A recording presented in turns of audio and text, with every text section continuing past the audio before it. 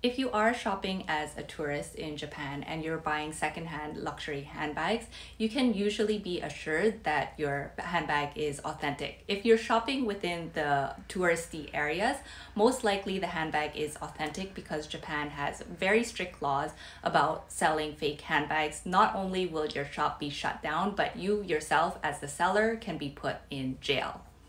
That being said, it is possible to actually buy um, a fake handbag from Japan. And this usually happens if you are buying from, like, let's say, a Filipino reseller who is sending the bag from Japan to the Philippines. And I am saying this in the context of somebody who lives in the Philippines. So if you don't live here, uh, this may not be applicable to you. So sometimes resellers are able to find really great prices, and these are usually in the smaller stores. And they may unknowingly send a fake handbag. Anyways, what are some ways that we can authenticate a handbag?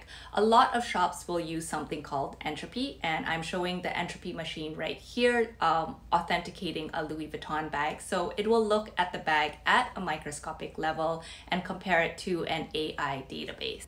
This is another shot of the Louis Vuitton Speedy. So you can see that it magnifies the logo of the Louis Vuitton and it will check that to make sure that this bag is authentic.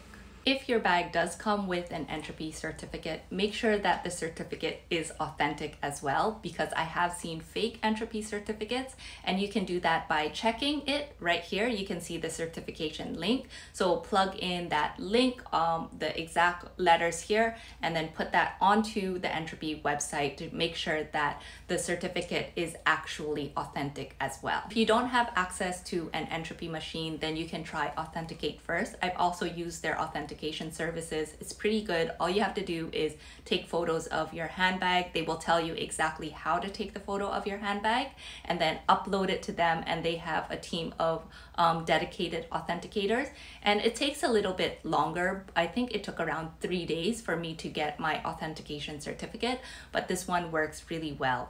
This is another service that also is the same. You upload photos. I've not used this one, but it kind of works in the same way. Just a side note, Entrupy does err on the side of caution. So sometimes your bag may be authentic and it comes back on Entrupy as fake, but definitely never the other way around. Anyways, I hope that helps. Um, I do not authenticate handbags anymore, unfortunately, so don't ask me to authenticate the handbag for you. Although I do know that there are a lot of Filipino companies who do offer Entrupy now in the Philippines. And don't forget to give this video a like if you know somebody who needs to know about this information. Don't forget to share this video with them. Bye!